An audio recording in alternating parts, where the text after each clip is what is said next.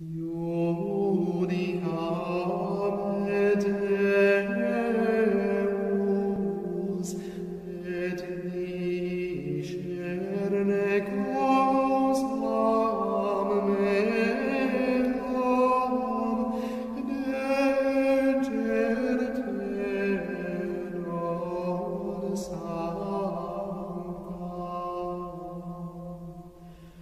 Iubiți credincioși, dragi radioascultători, suntem în duminica a cincea din postul mare. Ne apropiem, iată, cu pași repezi de celebrarea anuală a misterului morții și învierii lui Hristos. Lecturile pe care Sfânta Biserică ni le propune spre reflexie astăzi au menirea de a ne introduce deja în acest mister central al credinței noastre. Învierea lui Lazar, pe care am ascultat-o relatată în Evanghelia zilei, reprezintă o adevărată cateheză. Ea ne descoperă, pe de o parte, atitudinea oamenilor obișnuiți în fața morții, iar pe de altă parte, atitudinea pe care o are Dumnezeu și cea pe care suntem chemați să o adoptăm și noi creștinii în fața aceleiași realități. Vedeți, în general, atunci când moartea nu ne afectează în mod direct, spunem despre ea că este normală, naturală, inevitabilă. Dar când moare o persoană dragă, o persoană apropiată, avem reacții puternice, chiar violente. Foarte rar se întâlnesc persoane care și în acele momente să spună că moartea este naturală.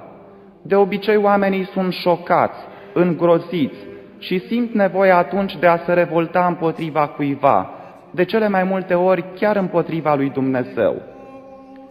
Această reacție este foarte bine exprimată de cuvintele Martei și apoi ale Mariei, adresate lui Isus, care ajunge cu întârziere în Betania. Dacă ai fi fost aici, fratele meu nu ar fi murit. Cu alte cuvinte, Dumnezeule, ce faci? Eu m-am rugat, eu am cerut vindecarea acestei persoane care mi-era dragă, dar tu nu ai făcut nimic, ai rămas absent. Credeam că mă pot baza pe tine, chiar credeam că ne ești prieten, că ne iubești, că ții la noi, dar iată ce ni s-a întâmplat. Văzând această scenă și iudeii care erau adunați în jurul lor încep să spună, El care a deschis ochii orbului, nu putea face ca Lazar să nu moară? De câte ori nu adresăm și noi astfel de reproșuri lui Dumnezeu? De ce, Doamne? De ce chiar eu? De ce mie? De ce mi-ai trimis atâta suferință? Unde ești, Doamne? De ce rămâi absent? Ce răspunde oare Dumnezeu acestor strigăte pe care noi le înălțăm spre El? Răspunsul îl aflăm din Evanghelia de astăzi, care ne spune că Dumnezeu nu este absent din dramele noastre, ci din potrivă, El este implicat, este acolo în mijlocul durerii, al suferinței. Putem descoperi în fragmentul evanghelic de astăzi patru pași pe care Dumnezeu îi face spre om în astfel de momente. Primul pas constă într-o reacție a lui Isus care ar putea trece neobservată. Deși îi spune Martei că Lazar va învia, deși o asigură că El este învierea și viața, cine crede în El, chiar dacă moare, va trăi, deși părea că are toată situația sub control, totuși, la un moment dat, Isus, văzând durerea celor două surori și ale oamenilor adunați, a fost profund mișcat, ne spune Evanghelia, și i-au dat lacrimile. A început să plângă. Dumnezeu plânge. Este primul pas pe care îl face Dumnezeu spre om atunci când acesta se confruntă cu momente delicate în viața sa. Lui Dumnezeu, nu-i pa- lui Dumnezeu îi pasă, El are de a face cu moartea. Așa cum Isus, de fapt, nu ne-ar folosi mai deloc să știm că Dumnezeu plânge neputincios alături de noi. Tocmai de aceea El merge mai departe și ne asigură astăzi că viața continuă chiar și după moarte. Viața este asemenea unei forțe extraordinar de puternice pe care nici măcar moartea nu o poate distruge. Și pentru a ne ajuta să înțelegem acest adevăr, Isus folosește o imagine. Vorbind despre moartea lui Lazar, el spune, Lazar, prietenul nostru, doarme, mă duc să-l trezesc. Moartea privită ca un somn. Ce imagine sugestivă! În fiecare seară adormim, neștiind în timpul somnului ce se întâmplă în jurul nostru. Ieșim, practic, din realitatea concretă a timpului și a spațiului. Dar cu toate acestea, ne trezim dimineață la o nouă zi și reintrăm în concret. Este sigur doar o imagine, dar spune multe despre modul în care Dumnezeu privește realitatea morții.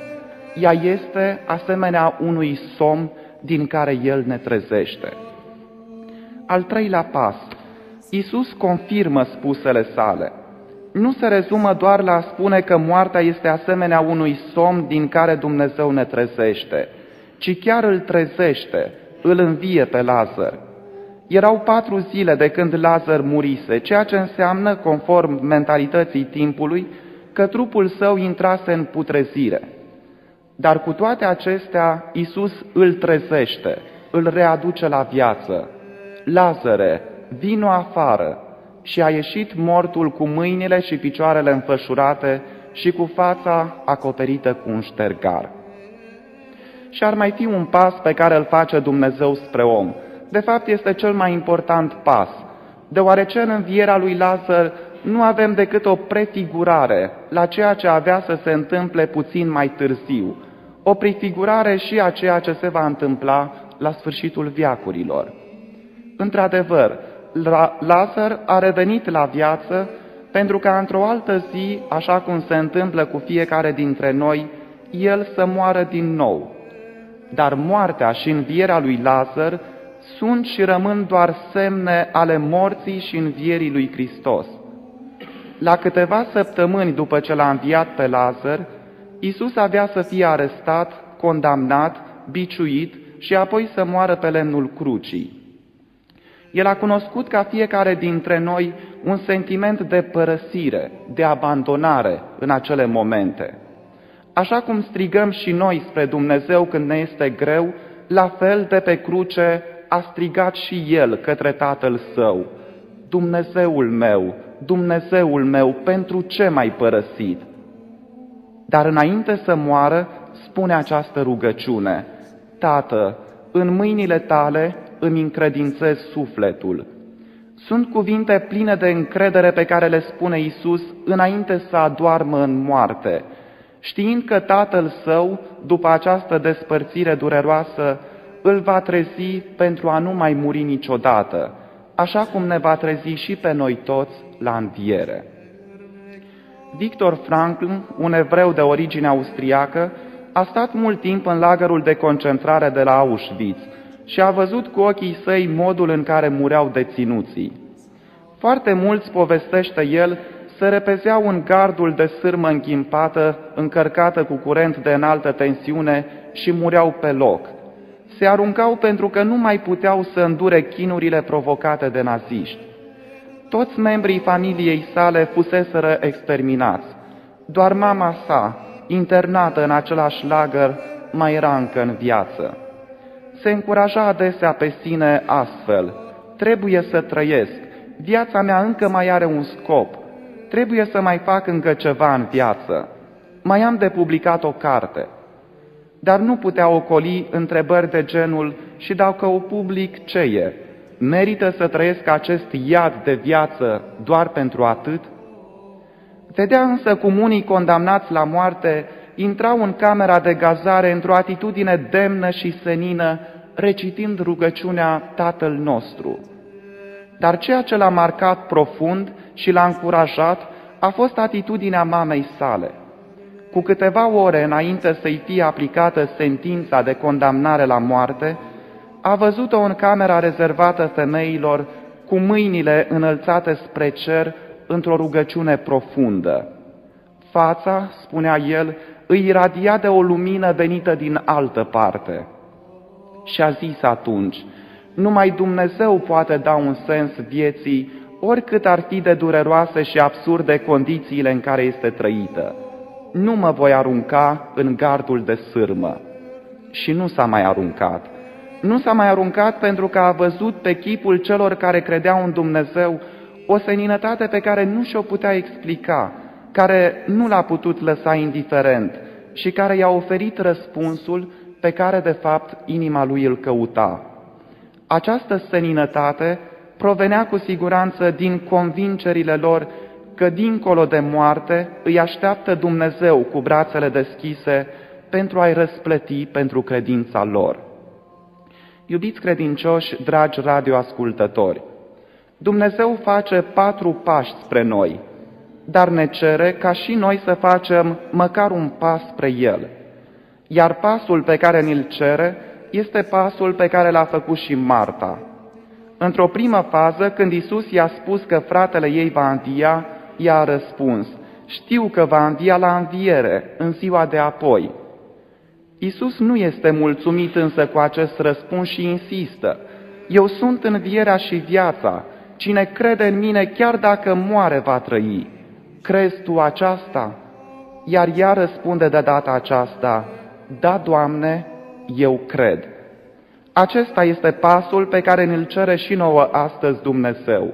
Pasul de la a ști la a crede. Nu este suficient să știm ce spune Sfânta Scriptură, ce spune Hristos. Nu este suficient să știm ce spune Biserica sau ce spun preoții. Este necesar să credem ceea ce spune Sfânta Scriptură, iar Biserica reafirmă. Acesta este pasul pe care Dumnezeu îl așteaptă de la noi acum în pragul sărbătorii Paștelui. Așteaptă să credem că chiar dacă moartea este un fenomen natural care nu ne va cruța nici pe noi, totuși ea nu trebuie să ne înspăimânte, pentru că nu este decât un somn din care Dumnezeu ne va trezi pe toți, așa cum l-a trezit și pe Isus.